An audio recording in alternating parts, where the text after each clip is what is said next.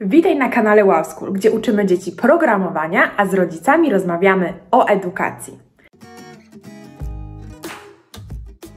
Dziś pokażę Ci zupełnie nową grę w Scratch, którą nazwałam Klik. Otwórz Scratcha i zaczynamy! Zaczynamy od stworzenia nowego projektu. E, Ja wybiorę sobie innego duszka, tego skasuję i wybiorę sobie, mm, tu już wcześniej myślałam o rakiecie. Zmniejszę jej rozmiar i postawię sobie na razie tu w tym miejscu. Pierwsze od czego zacznę e, to oczywiście ze zdarzeń bloczek, kiedy kliknięto zieloną flagę. I po tym jak ją kliknę, chciałabym, żeby moja rakieta znikała. Czyli z wyglądu biorę bloczek ukryj. Chciałabym wykorzystać tutaj nadawanie komunikatów, czyli przekazywanie takiej wiadomości e, do innych duszków albo do tego samego, e, po to, by rozpoczął się jakiś dalszy program. Zaraz zobaczycie o co chodzi. Z kontroli wybieram bloczek zawsze oraz jeżeli to. I tutaj pomiędzy jeżeli i to e, będę chciała wstawić z wyrażeń znak większości. Właśnie po to, by sprawić, że gdy moja rakieta osiągnie pozycję Y, czyli na osi Y, góra-dół, większą niż 180, to będę chciała a nadać jej komunikat o nazwie hmm, lecimy. Z ruchu wybieram pozycję Y i tutaj wpisuję 180. Ze zdarzeń nadaj komunikat i tutaj sobie wybiorę nową wiadomość, którą nazwę lecimy. Gdy pozycja Y mojej rakiety jest większa niż 180, czyli 180 jest tutaj na górze sceny, chcę, żeby um, rakieta otrzymała właśnie komunikat lecimy. I co się z tym wiąże? Zaraz zobaczycie. Kiedy otrzymam właśnie komunikat lecimy, chcę, by moja rakieta ukryła się, poszła do miejsca na dole sceny, to znaczy, żeby wróciła, gdy będzie już na górze, żeby wróciła na sam dół i żeby jej lot odbywał się właśnie na osi Y, góra-dół. Więc kiedy otrzymam komunikat lecimy, chcę ukryć rakietę i w tym czasie przenieść ją na dół. Wybieram z ruchu bloczek idź do X i Y i tutaj wstawię e, z wyrażeń bloczek losuj liczbę. I tu wylosuję liczbę od, zobaczcie, tutaj gdzieś na brzegu sceny jest minus 234 i po tej stronie a, podobnie tylko na plusie. Dlatego chcę, żeby x wynosił od minus 234 do 234. Żeby rakieta po powrocie na dół sceny losowała sobie miejsce, w którym się pojawi na osi X, natomiast na osi Y chcę, aby pojawiała się w miejscu tutaj gdzieś na dole, czyli mogę zaznaczyć minus 188 będzie ok. Tak, żeby nie była widoczna, zobaczcie, nawet mogę wpisać minus 211.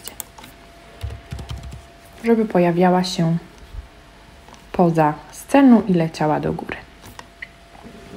Gdy już e, znajdzie się w tej pozycji, chcę, żeby się pokazała oraz leciała do góry. to ze skryptów ruch, ten drugi, leć przez 1 sekund do x i y. I tutaj, leć przez, a tutaj też wstawię sobie z wyrażeń losową liczbę i będzie to liczba od 1 do na przykład 4 sekund, do y, który będzie wynosił minus, przepraszam, y, który będzie wynosił tu na samej górze sceny, wpiszę 180, natomiast x to będzie ta sama losowa liczba. Zobaczcie, moja rakieta leci w górę. Natomiast e, brakuje mi jeszcze jednego elementu. Chcę, by na początku gry, po kliknięciu zielonej flagi, chcę, żeby pojawił się taki przycisk rozpoczęcia rozgrywki. Wybiorę do tego nowego duszka. Będzie to na przykład taki przycisk, o, który postawię tutaj i po którego naciśnięciu rozpocznie się gra. Ze zdarzeń wybieram bloczek, kiedy kliknięto zieloną flagę oraz z wyglądu pokaż. Natomiast gdy kliknę tego duszka, czyli ze zdarzeń, kiedy ten duszek kliknięty, będę chciała nadać komunikat o nazwie Start. Ten komunikat będzie przekazywany do mojej rakiety. Zaraz to zaprogramujemy. Kiedy kliknę ten zielony przycisk, zostanie wysłany komunikat Start. Chcę, żeby zniknął z planszy. Sprawdźmy. Zobaczcie, zniknął. Ale dalej nic się nie dzieje, bo komunikat nie został zaprogramowany w rakiecie. Wracam więc do rakiety i wybieram ze zdarzeń, kiedy otrzymam komunikat start. Chcę, żeby rakieta się pokazała i nadała cały komunikat lecimy, czyli ten. Zobaczcie. Tak to będzie po kolei. Sprawdzam, co się dzieje. Zobaczcie, działa.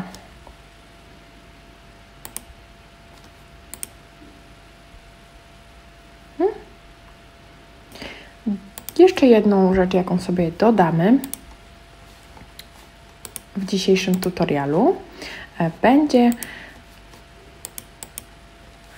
dodanie zmiennych, dwóch zmiennych tak naprawdę, która będzie, e, jedna zmienna będzie nazywała się punkty, a druga zmienna rakieta, ponieważ będę chciała, żeby rozgrywka liczyła mi ilość rakiet, które przeleciały oraz ilość punktów, które zdobyłam.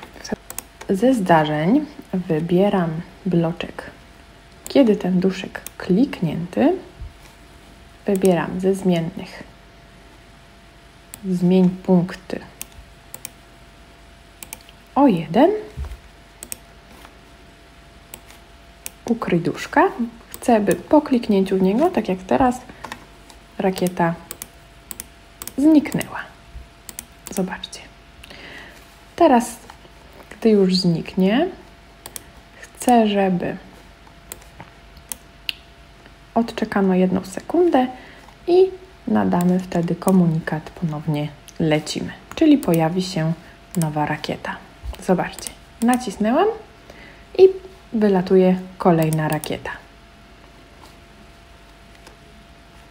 Zobaczcie, e, ta pozycja Y jest za mała, ponieważ rakieta zatrzymuje się tutaj.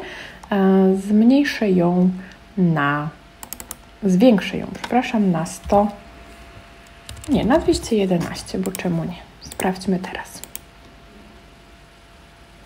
Zobaczcie, teraz jest tak, jak chciałam.